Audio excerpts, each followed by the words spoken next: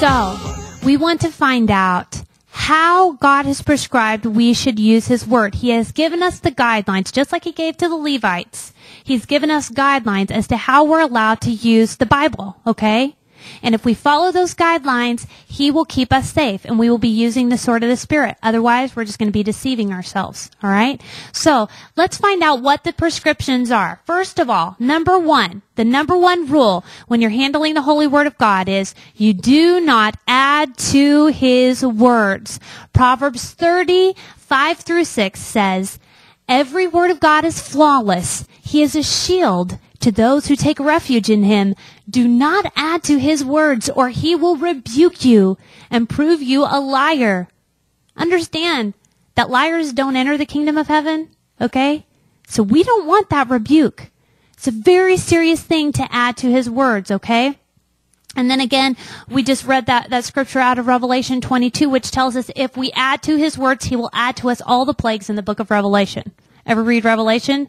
That's not something you want to happen to you, okay? So, we need to be very careful not to add to God's words. Now, we're very tricky in the way that we do this, okay? yeah, some people like Joseph Smith are just brazen and they say, you know, I have a revelation and the Bible's wrong the way it's written, so I'm going to rewrite it. Yeah, there are people that are that crazy, alright? But most of us, we, we are a little bit more subtle about the way that we do this, okay? About the way we disguise our true motivations. We disguise the fact that we're using our own words instead of God's word. We're adding to his words, okay? The way that we usually do this, in one form or another, is we take a scripture, okay? And then we springboard off of it to, and we use logic to come to a conclusion. And the conclusion isn't in the Bible the way that we state the conclusion, but we figure since it's logical and since we started with scripture, it must be right. And incorrect answer. Listen to me. If your conclusion is not in the Bible, it's not because God forgot to put it in there. It's because it's not supposed to be in there. And when you speak your conclusions that you base on the Bible with the same authority as the Word of God, well, yeah, the Word of God is true, and this also must be true because it's logical. what you're doing is you're exalting your own words and you're adding to God's Word. You're giving your words the same authority that you give the Word of God. And sometimes we even exalt it above that. Okay? Very serious thing. We don't want to do that. Now, the second prescription that we are given as to how to handle the Word of God is that we are not to take away from His words. If we do, our inheritance in the city of God will be taken away. Okay? And this is how this usually works, you guys. We use scripture, springboard off of it, use logic to come to a conclusion. Now, by the way, the Bible tells us that God's wisdom will frustrate our logic. It will frustrate our intelligence. So don't assume that just because your conclusion is logical to you, that it's God's ways. God said, my ways are not your ways. My thoughts are not your thoughts. And the Bible says that we are to trust in the Lord with all of our heart and to lean not on our own understanding. Don't put so much, don't put so much faith in your own logic and your own, your own intelligence. Okay?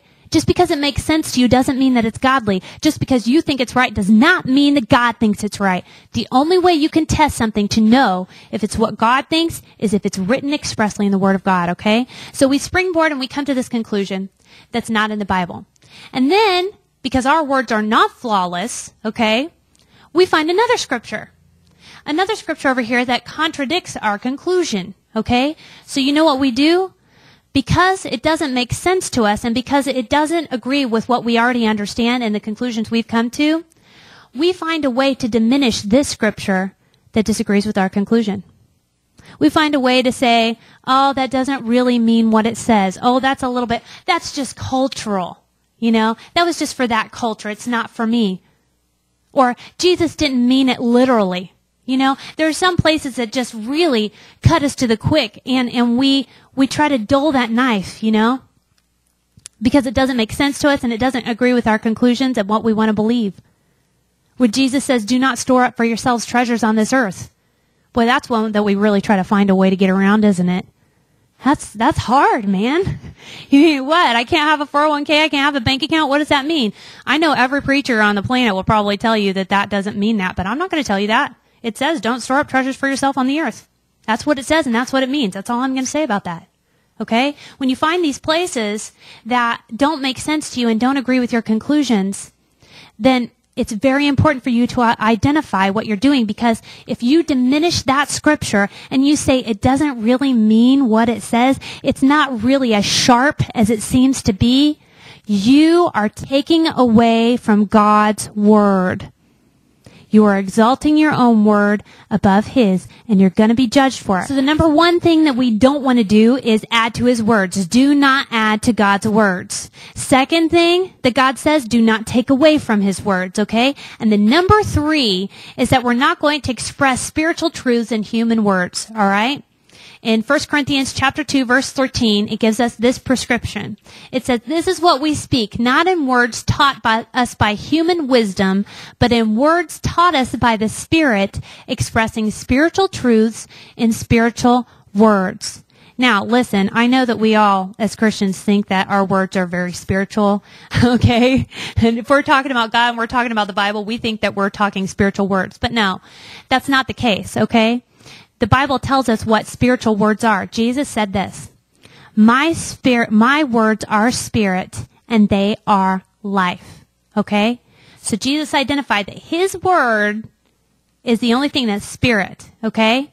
Now whenever we add to God's words or expound on God's words, then that's not spiritual. Those aren't spiritual words. Okay?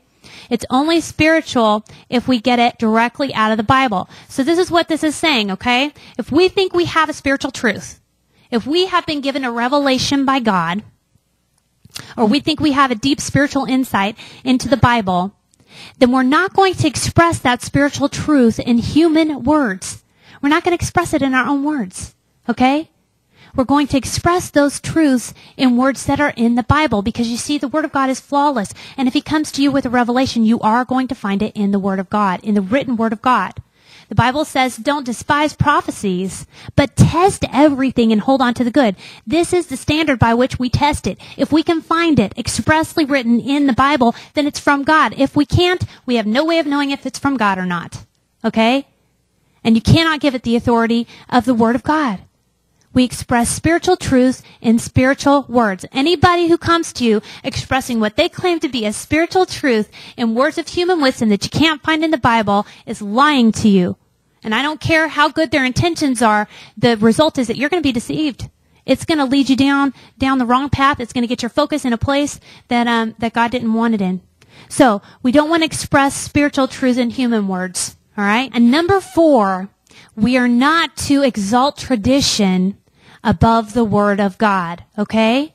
Now, in Colossians 2 8, it says, See to it that no one takes you captive through hollow and deceptive philosophy, which depends on human tradition and the basic principles of this world, rather than on Christ. Now, understand that Christ is the Word of God, okay? So, the Bible tells us, you know, that tradition is not exalted to the level of Christ. It is not to be exalted. All right. And we see in Matthew chapter 15 where Jesus actually rebukes the Pharisees and the teachers of the law because now understand that these were the religious leaders of the day. Okay. They had been entrusted with all the scriptures and, and I mean, the, the temple of God was there. I mean, if anybody had a right to claim that their tradition was holy, it was the Pharisees. Okay. So if you think that you have the right to, to claim that your church tradition is holy, you need to listen to this rebuke because you know what Jesus said to these guys? He, he told them, he rebuked them because he said, you nullify the word of God for the sake of your traditions. He gave them an example of how they had exalted one of their traditions um, to the place where somebody had to disobey the word of God to do what their tradition said. Okay?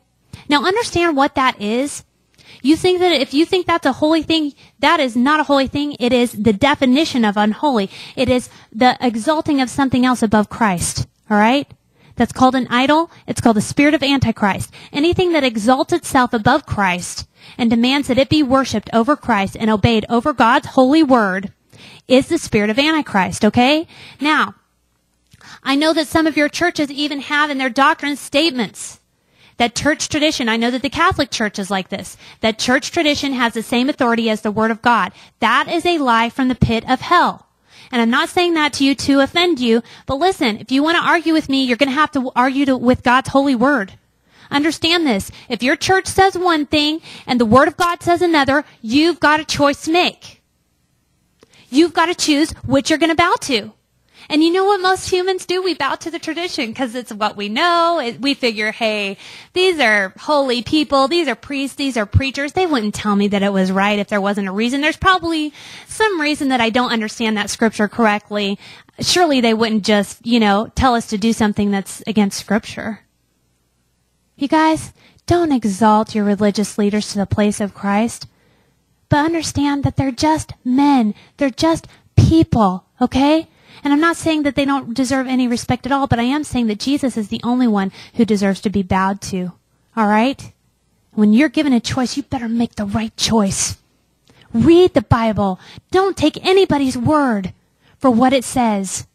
And don't give anybody that authority because men are fallible. Tradition is fallible. Do you understand that church tradition is created over time by the habits of men?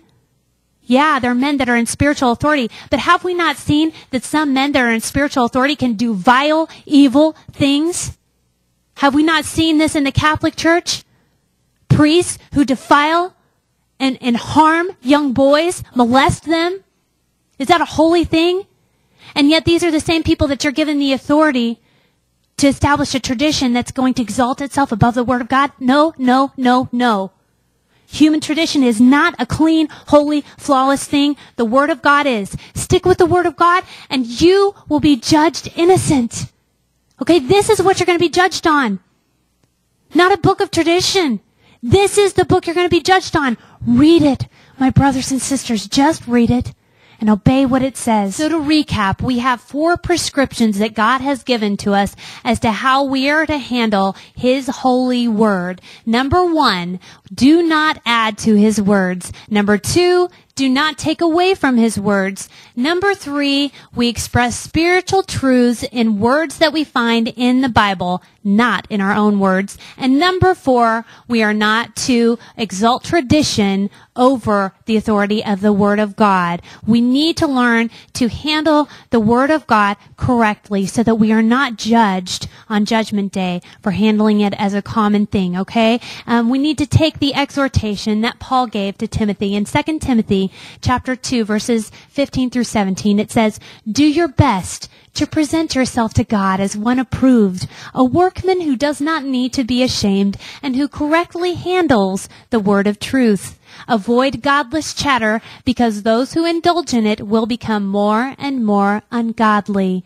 Their teaching will spread like gangrene. Now there is a reason that God is so adamant that his holy word be handled in the way that he prescribed. He is so adamant about the fact that we are not to use our own sword, okay? Now we don't have to understand that reason in order to obey him, right? We need to obey even when we don't understand.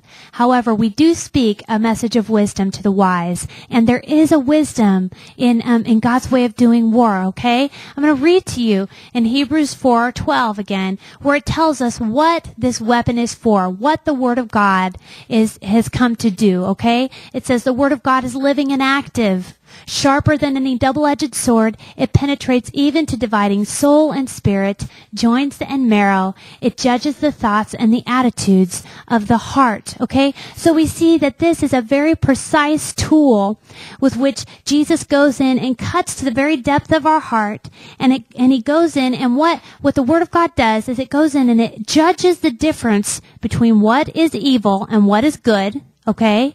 And then it separates the evil off from the good so that the good can be saved. Because as long as they're intermingled, the good is going to be lost with the bad when it's judged. Okay? But if he can go in and cut it away like a master surgeon, it says that it's so precise that, that it's even able to, to judge between the thoughts and intentions of our heart, between our soul and our spirit. You know? So God's word is very effective at doing that. And he is the only one who has that kind of wisdom. You think about it. Do you want just any old person doing heart surgery on you? No. And if you're not an expert and you've got to do heart surgery on somebody, you better have a heart surgeon right behind you guiding your hand, right? And telling you what to do. Because if you don't, you're going to lose some good tissue and you probably even kill the person that you're trying to heal, right? This is a very serious process being saved from our sin. And we need to work out our salvation with fear and trembling, okay? And we see that it's the same in the body of Christ. God's word comes to separate the evil from the good, okay? We see that in the judgment of the sheep and the goats in Matthew 25.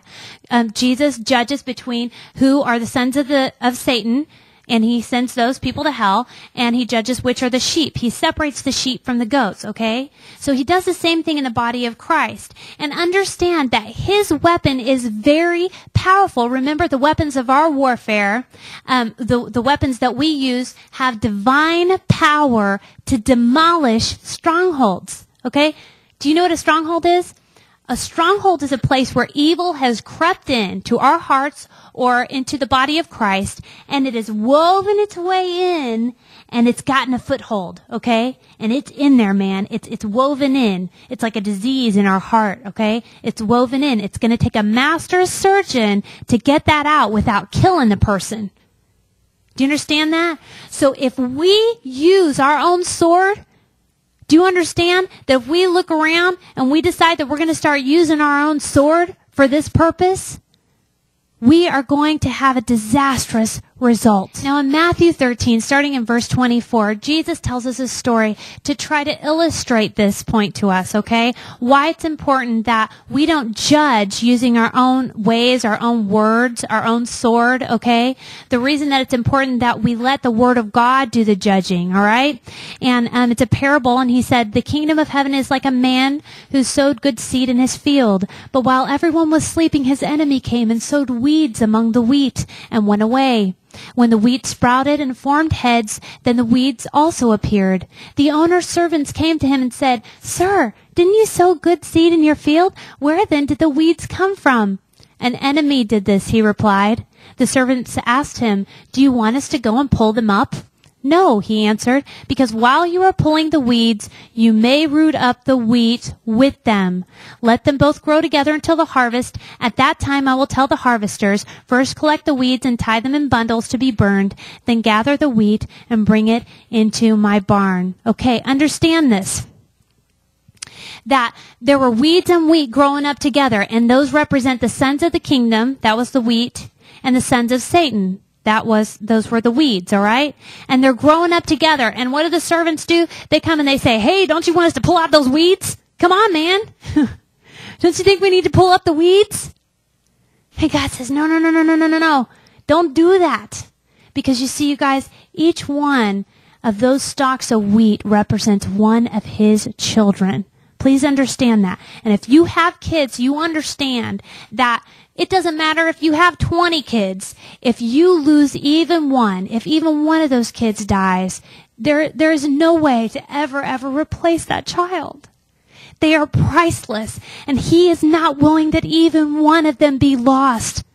Now, if the servants would have had their way, they would have gone and judged prematurely. They would have gone and tried to, to yank out the weeds prematurely. But according to God's wisdom, God knew the way to cut and judge in such a way that not even one of those stalks of wheat, of those sons or daughters of the kingdom will be lost. Now understand this, you guys. This applies to us. If you look around the church today, anybody looking around and seeing any weeds? Okay? Anybody looking around and seeing any weeds mixed in with this wheat? the church of God right now, we've, we've got the sons of Satan mixed in with the sons of the kingdom, right? But what we're tempted to do is pick up our own words and say, you know what? I think it's time to do a little judgment. All right? I think it's time to do a little cutting away. We got some weeds over here. I think we need to start pulling some weeds. But it's not according to God's wisdom and it's not using God's word. It's using our own way of waging war and our own weapons. Okay? Now understand what you are doing when you do this. If you divide, listen very carefully, brothers and sisters, please listen to me. If you divide from another brother or sister in Christ based upon your own words or the traditions of your church, or based upon your wisdom and the way you think that this war needs to be waged, you are going to be guilty before God of cutting one member of the bride of Christ from another. Do you understand what that means? The Bible says that we are all one body. In the body of Christ, the bride of Christ is one body. And if you go in and you start separating off people that aren't supposed to be separated, or in the process of judging one person that you think is evil, another person may fall down in sin because they didn't understand what you're doing because it wasn't the Word of God, it wasn't flawless. If you start, you start cutting away members of, of the bride of Christ, it is like going in and pulling out your sword and hacking away and you're saying, oh yeah, I'm going to cut that enemy away from her. And when you're done, oh expert swordsman, you've got a mangled bride because you know what you did in the process? You cut off her hand. You cut off her foot. You slashed her in the side. And do you know what's going to happen to you? If you do this, woe to you. Woe to you if you separate from another brother or sister because you're Catholic and they're not, or you're Baptist and they're not. Woe to you. Those are men's words. They are not God's words. Let God's word do the separating. Woe to you if you say, well, you know, I read the KJV and you read the NIV, so we can't be part of each other. How dare you?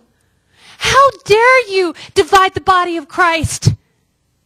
Do you understand that Christ gave himself up for the bride, that he valued her life even more than his own. Do you understand that if he is going to judge you for approaching his holiness in a way that's not prescribed, for disrespecting him, do you know what he's going to do to you if you have cut his bride into pieces? You do not want to be standing before the judgment throne of God with the blood of the bride on your hands. You're talking about his girl and you're not going to get away with it. Don't take it lightly. Jesus said, there are so many things that cause people to sin. Oh, but woe to him. Through who those things come, it would be better for him if a millstone were hung around his neck and he were thrown into the sea than if he were to make even one of my little ones stumble. You guys, we've got to learn that there's going to be a judgment for us if we don't use the Word of God in the way that it's prescribed. We've got to learn to bow our knee to the holy authority of the Word of God.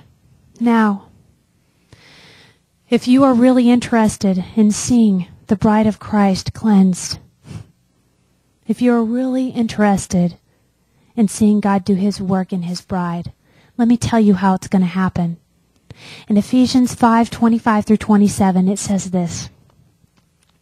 Husbands, love your wives just as Christ loved the church and gave himself up for her to make her holy, cleansing her by the washing with water through the word, and to present her to himself as a radiant church without stain or wrinkle or any other blemish, but holy and blameless.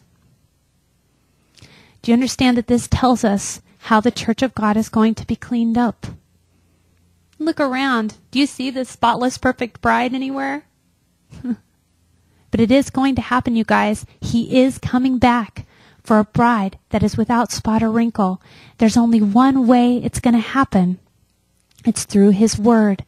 She is washed when we speak the word of God. Do you understand that as a teacher or a preacher or an evangelist or a Christian, the most important thing you can do is read the word of God to your people? Do you understand that we spend more time talking about the Bible than we do reading the Bible? But it's not our words. It's not our deep spiritual insights that are going to clean her up. It says that Christ himself washes her and he washes her with his word. So if we want to see her clean, we've got to start speaking his words only and we've got to take out our words. Now, when we add our words to God's word, this is what we do, you guys. We add all of our, our great insights to God's word. And we get up and we, you know, we teach it and we preach it and we entertain with it or whatever. And then we, we wonder why the bride isn't coming out clean, why sin's not, not being dealt with why these people are not being victorious over sin, why it's not working. Well, understand this, you guys. Our words are not clean. I don't care how spiritual you are, how many years you've been in ministry. Your words are not clean.